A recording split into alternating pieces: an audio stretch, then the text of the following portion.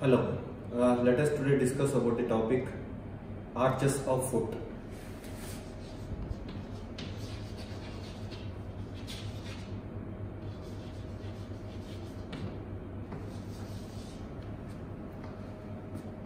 The human foot contains uh, articulation with a series of bones resulting in a form of arches.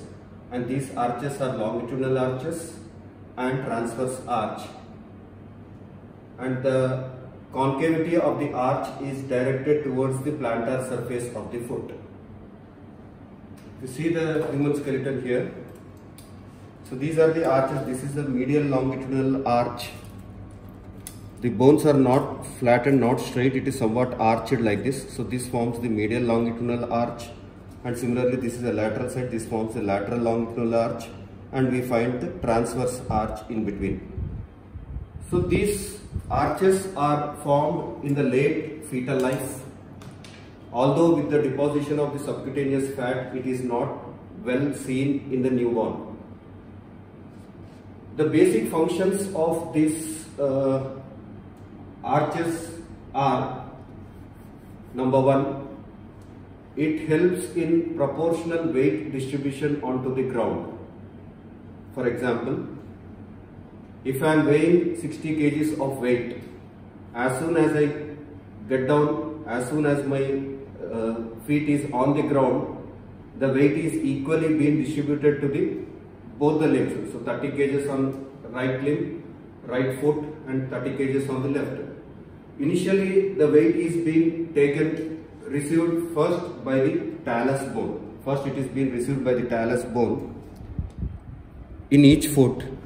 Later the weight is distributed equally into the posterior part and the anterior half of the foot. So 15 kgs is being received by the calcaneum bone and the remaining 15 kgs is being received in each foot by the uh, heads of five metatarsal bones, heads of five metatarsal bones, each head bearing a weight of 2.5 kg with the first metatarsal head, since it contains two sesamoid bones underneath it, it, receives double the weight, that means it transmits 5 kgs of weight. So this 5 kg, 2.5, 2.5, 2.5, 2.5, total 15 kgs is being received by this portion of the foot and 15 kgs by the calcaneum in each foot. Thus, it helps in proportional weight distribution onto the ground. Number two, second function is this arches of foot acts as a segmented lever in the propulsive mechanism of uh, action of gastrocnemius and soleus and also by the short and long flexor tendons particularly in takeoff point. Thus, it helps in the takeoff point by, by doing its action along the fore part of the foot. That means in the anterior part of the foot, it exerts its action and helps it take off point. Number three, it protects the underlying plantar vessels and nerves.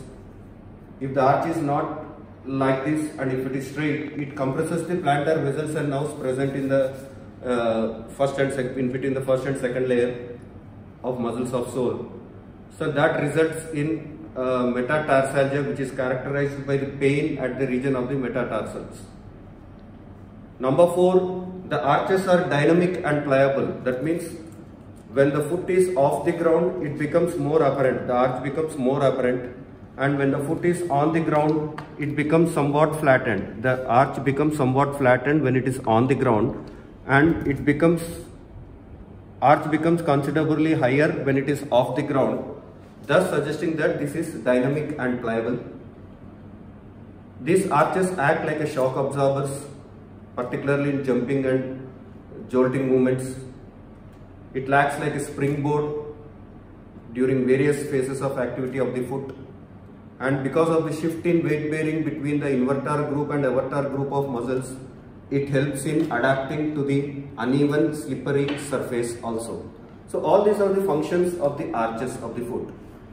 I have said arches of the foot are two longitudinal arches and one transverse arch. The two longitudinal arches to start with, I'll start with the medial longitudinal arch of the foot.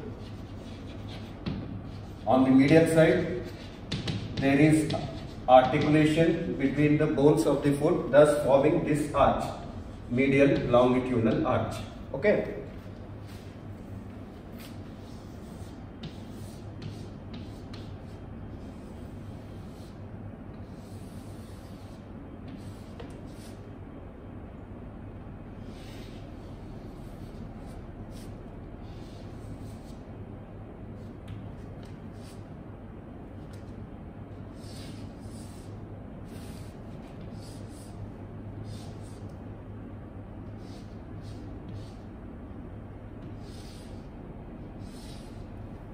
So this is the talus bone. This is calcaneum bone. This is navicular bone.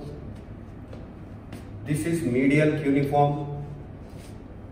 And this is first metatarsal bone. And these are the phalanges. Okay. Now, to start with the uh, medial longitudinal arch, it represents a big arc of a small circle. If this is a circle, it represents a big arc. That means its summit is higher. It is more higher in position than that of the lateral longitudinal arch. So it represents a big arc of a small circle. Hence, its summit is higher. So this arch is higher, more mobile and more resilient why it is resilient means since it is being formed by more number of bones, it is more resilient. Resiliency is the feature of this arch.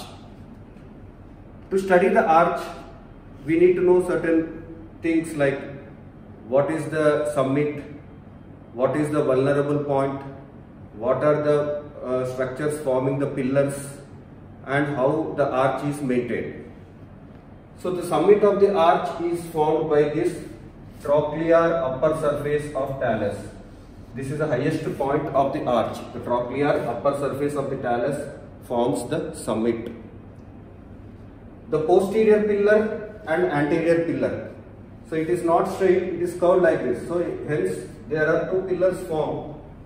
The posterior pillar is formed by the medial tubercle of calcaneum and the anterior pillar is formed by the heads of medial three metatarsal bones. This is the first, second and third. The head, the posterior pillar is formed by the medial tubercle of calcaneum. Anterior pillar is formed by the heads of medial three metatarsal bones. The most vulnerable point, the most vulnerable point that means is formed by the head of the talus which is being received in front by the navicular and below by the sustentaculum tali of calcaneum and being strengthened by a ligament which is called spring ligament.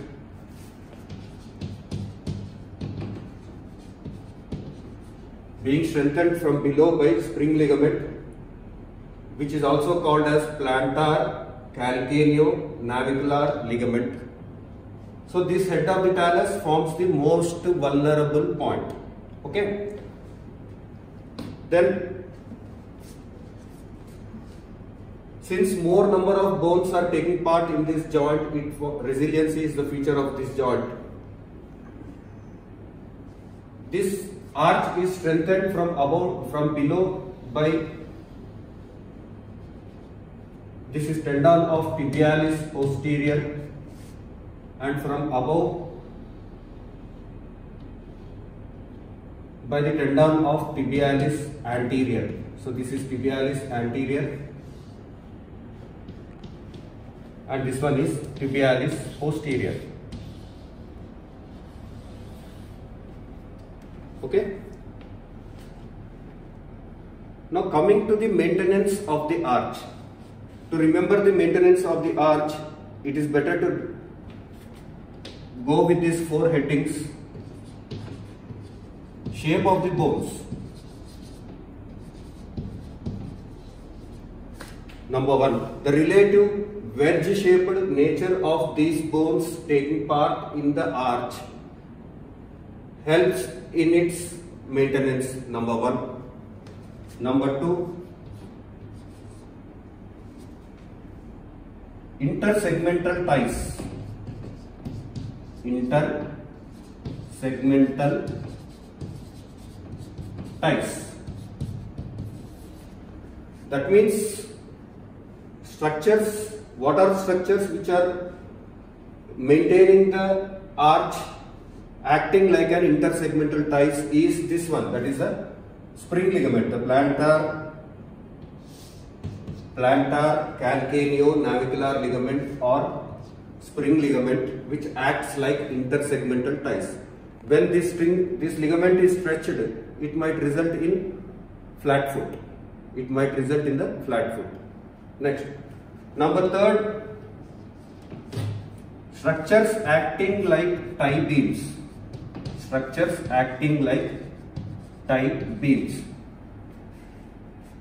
So the structures which act acting like tie beams and helping in the maintenance are number one the plantar aponeurosis. This one is plantar aponeurosis.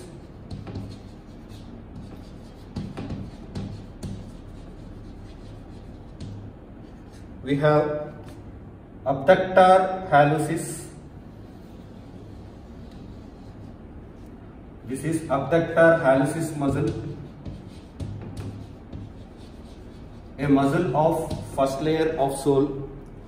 Not only this, the medial half of flexor digitorum brevis, which is also a muscle of the first layer, and also the flexor hallucis longus flex, medial half of flexor digitorum longus. These two are the muscles of the second layer and even the adductor hallucis which is a muscle of the third layer. All these structures act like tie beams. I repeat the structures are plantar aponeurosis, abductor hallucis, medial half of flexor digitorum brevis. These two muscle of first layer. Then we have flexor hallucis longus, medial half of flexor digitorum longus. These are the muscles of the second layer. And the muscle of the third layer which is forming the tie beam is adductor hallucis. All these structures forms the tie beams and helps in the maintenance of the arch. And the last one, suspending, suspending the arch from above and sustentacular action from below.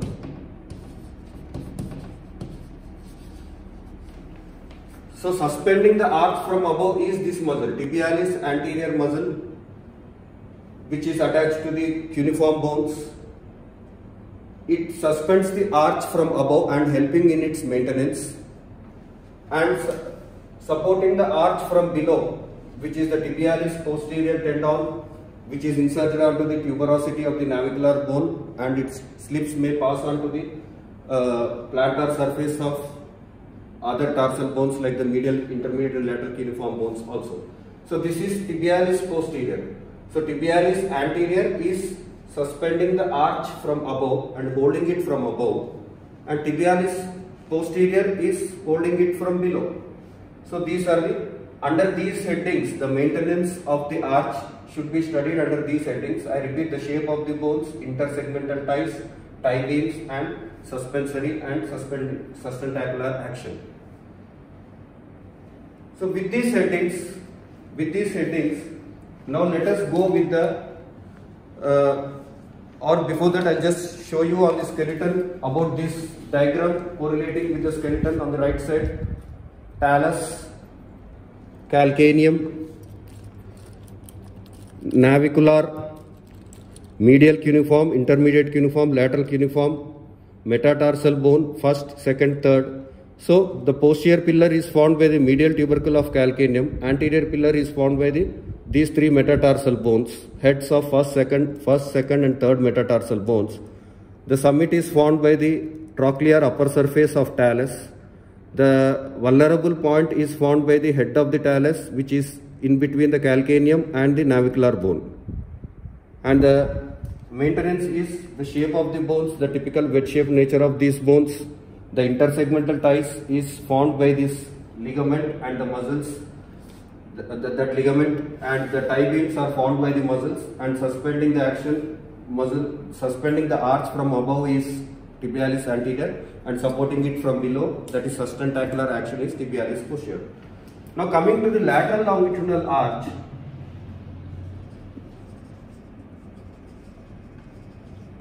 lateral longitudinal arch. It represents a small arc of a big circle. Hence its summit is somewhat low when compared to the medial longitudinal arch its summit is lower. It is much lower. It is formed by less number of bones. So it is it is lower. It is formed by less number of bones. Since it is formed by the less number of bones rigidity is the feature of this arch and the bones taking part in the formation of this arch are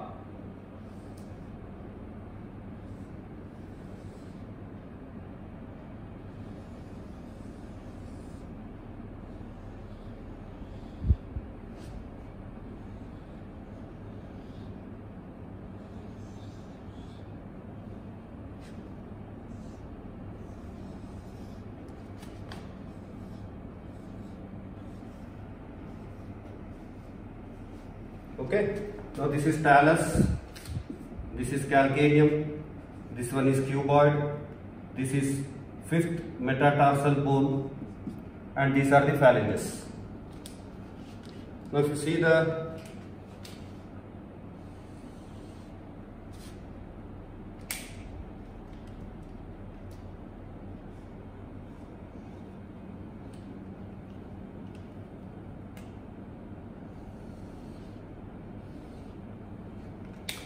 Now, if you see the same thing here, the lateral longitudinal arch, this one is calcaneum, this one is the talus, this is cuboid, and these are the fifth metatarsal bone, and even the fourth also, fourth, fourth metatarsal bone is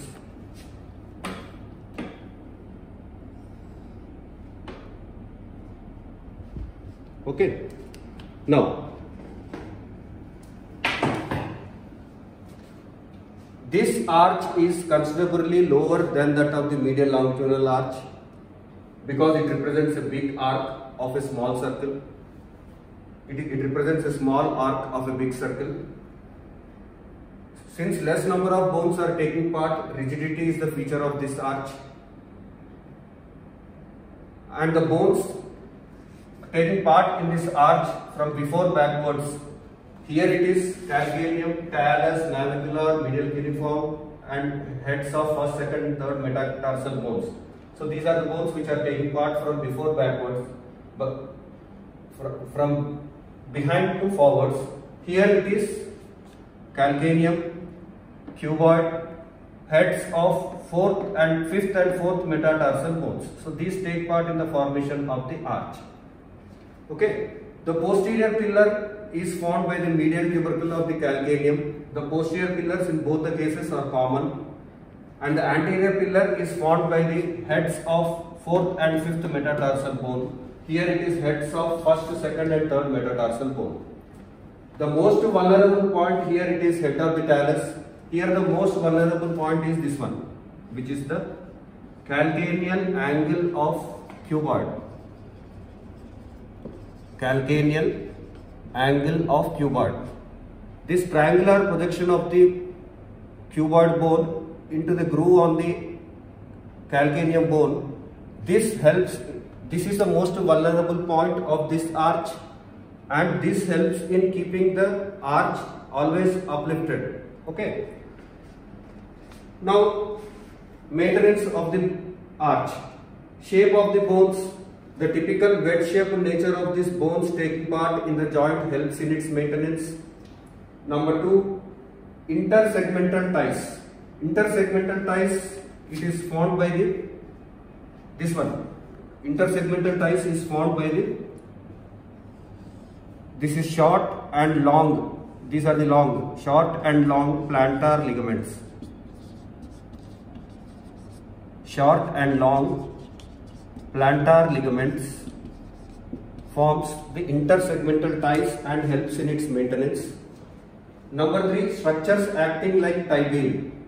Structures acting like tie beam are plantar aponeurosis as usual for both the arches plantar aponeurosis and abductor digiti minimi that is the muscle of the first layer of the sole then uh,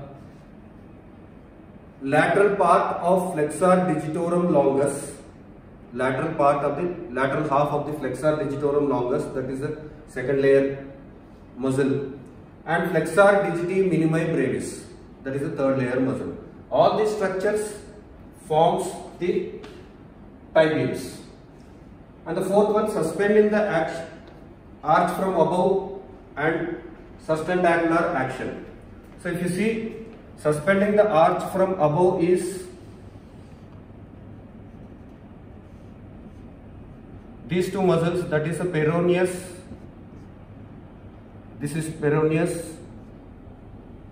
This one is peroneus brevis which is attached to the base of the fifth metacarpal bone and peroneus tertius this is attached to the dorsal aspect of the base of the fifth metacarpal bone. This brevis is attached to the lateral aspect of the base of the fifth metacarpal bone. These two muscles, these two muscles suspends the arch from above and peroneus longus which goes like this to be attached to the plantar aspect of the first metatarsal bone that is a peroneus longus muscle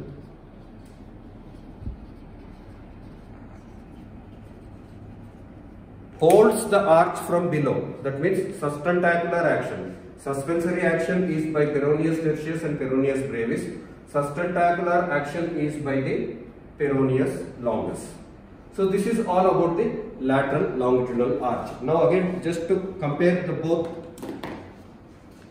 This is formed by more number of bones, that is formed by less number of bones. It is the summit of the arch, this arch is considerably higher, that arch is considerably lower more number of bones are taking part in this arch, less number of bones are taking part in this arch. The posterior pillar is formed by the medial tubercle of the calcaneum and the anterior pillar is formed by the heads of first, second and third metatarsal bones. There the posterior pillar is also formed by the medial tubercle of the calcaneum but the anterior pillar is formed by the heads of the fourth and fifth metatarsal bones. The most vulnerable point is the head of the talus. The most vulnerable point is calcaneal angle of the cuboid. About the maintenance of the arch, Shape of the bones, the relative shape of the bones, that is a wedge shaped help in its maintenance. Intersegmental ties is the ligament, here it is a plantar calcaneonavicular ligament or spring ligament, holds it and helps in its maintenance. Here it is short and long plantar ligaments. Next, structures acting like tie beam, plantar aponeurosis, abductor hallucis, medial half of the flexor digitorum longus, flexor hallucis longus and adductor hallucis here. Here it is plantar aponeurosis, abductor digiti minimi, uh, lateral half of the flexor digitorum longus and flexor digitorum brevis and even the flexor digiti minimi brevis. Suspending the arch from above is tibialis anterior here, it is peroneus brevis and peroneus tertius. Holding the arch from below that is sustentacular action is by tibialis posterior, here it is peroneus longus. This is all about the lateral longitudinal arch.